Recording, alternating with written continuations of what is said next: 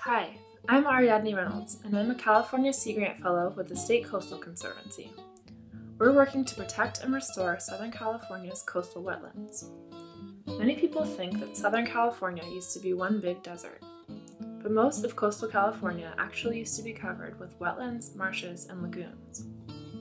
When the first explorers and missionaries reached coastal California in the late 1800s, they saw these wetlands as disease breeding swamps instead of resources, so they drained and filled wetlands for agriculture and development. Fast forward to today, and over 95% of Southern California's wetlands have been lost to human development. Our creeks, rivers, and estuaries are also polluted from trash and urban runoff. That's why the California State Coastal Conservancy is working with its partners to restore Southern California's wetlands and watersheds.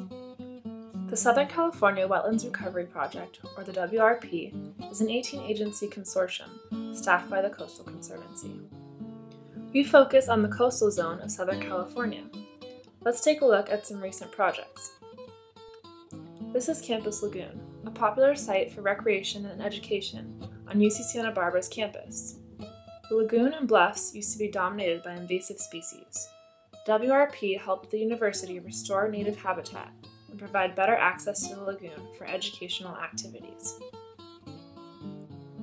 Down south from Los Angeles, the WRP provided funding to the nonprofit Tree People to help their restoration efforts in Topanga Canyon.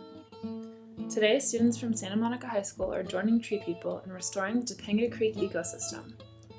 Let's hear from some of these amazing people. I'm Bridget Thorpe. I'm one of the supervisors, so I just I learn about the plants and I make sure that all the volunteers are in the right place and doing what they're supposed to be doing.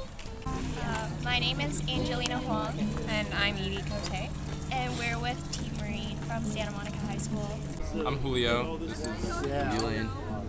Uh, we're from SEMO. Santa Monica High School. Yeah.